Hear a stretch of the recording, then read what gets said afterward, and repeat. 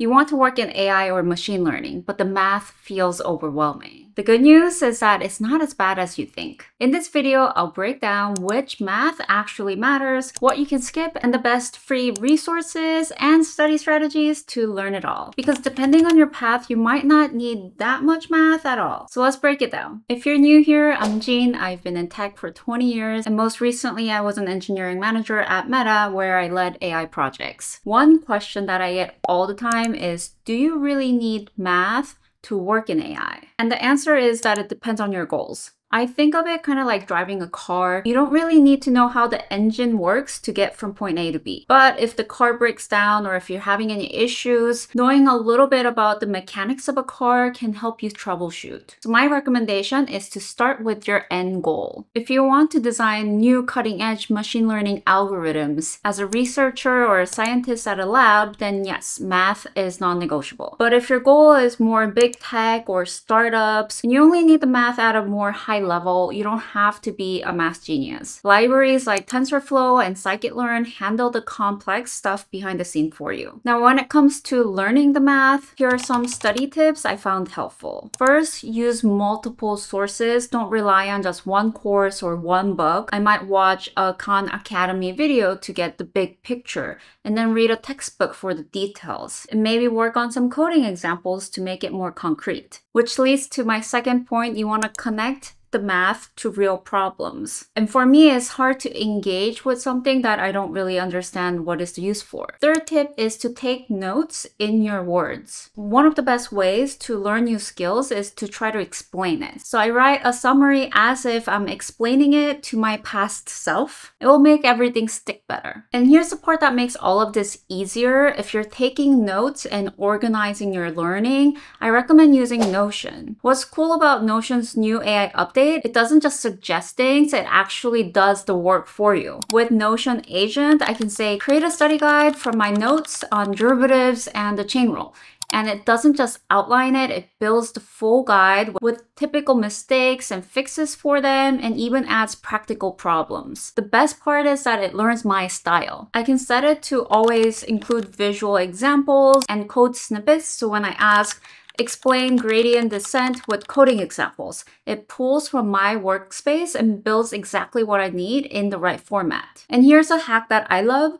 I'll grab a transcript from any lecture, let's say Khan Academy. You drop them into Notion and let the agent turn them into structured note that I can reference anytime later. It's like having a study buddy who never forgets anything. I wish I had something like this when I was studying for math. This is such a game changer. You can also track your progress while you're learning, organize reading research papers, or building an AI project portfolio. Notion Agent can do so much for you. And this video is sponsored by Notion, but honestly, I was really excited when they reached out to me because I already use it all the time. So if you want to try Notion Agent for yourself, check out the link in the description. Now let's get back to the video. So how should you actually tackle the math for AI? There are three core subjects, calculus, linear algebra, and statistics. That's the order I study them in college, and it's the sequence that most people recommend. But how you choose to study will be different based on where you are. If you want to eventually do research or build new algorithms, you'll probably learn all three in school, subject by subject. And sometimes people ask me how they can prepare before going to college, and my answer is don't prepare. When you get to school, they'll teach you everything, so don't worry about it. Now, if you're self studying and have done math before, then you want to just brush up on the concepts and start building. Use your problems to guide your learning by looking up concepts only when you get stuck. But if you're brand new to math, you can take either approach depending on how much time you have and how much math you like. So you can either go through the courses one by one or start building. Chances are that when you are actually going through the subjects one by one, you might not understand everything, but that's okay. You can always come back to them later. But in order to look up the topics later, you do need to know which math is which so you know which book to look up or which course to look it up. So let me break down what each type of math actually does and when you you would need it. Starting with calculus. By the way, the whole curriculum and the links and the resources are all in the full AI roadmap PDF you can find on my website. Okay, calculus is about understanding how things change.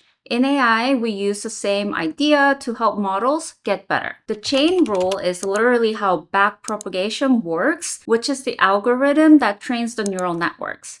It's about understanding how changes ripple through connected systems. If you adjust one thing, how does that affect everything else down the stream? Derivatives show how something changes, and gradients are like derivatives for a lot of variables at once. They help AI models tweak themselves to make better predictions and reduce mistakes. You'll also want to understand basic integration techniques while derivatives tell you the rate of change, integrals add up all those changes over time. These can help you when you're debugging why your models aren't learning or if you need to understand what's happening under the hood of frameworks like TensorFlow. Also, learn about local versus global minima, saddle points, and convexity. These ideas explain why some models get stuck in suboptimal solutions while others find best answers. A good free resource to learn calculus is with Khan Academy, which gives you plenty of practice problems to cement your understanding. If you prefer books, check out Calculus, A New Horizons 6th edition or later. That's what Stanford uses for their calculus classes. Next is linear algebra. This is basically the math of organizing information. All data in AI gets turned into these grids of numbers. A photo is a grid where each cell contains brightness of a pixel. A sentence becomes a grid with words. If you're working with data, you're working with linear algebra. This was my favorite type of math personally because once you get into it, it's very intuitive and logical. Here's what you need to know. Start with vectors.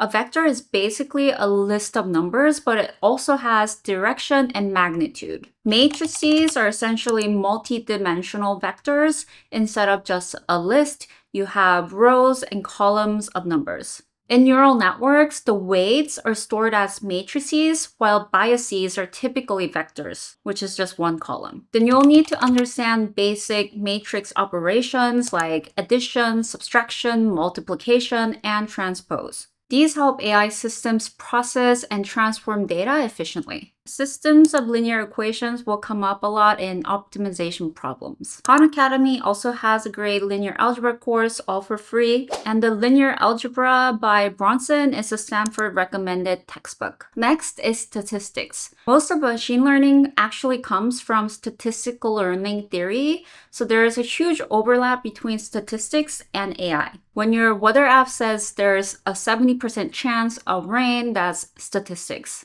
So let's break down what you need to actually know. Descriptive statistics is about understanding your data before you do anything fancy with it. Things like mean, median, standard deviation, and distribution. Probability distributions are patterns that show up in data all the time. Normal distribution is the classic bell curve you've probably seen before. The binomial distribution shows up when you're dealing with yes or no outcomes, like is this email spam or not. Understanding these patterns can help you choose the right approach for your problem. Sometimes you need a simple linear model, sometimes something more complex.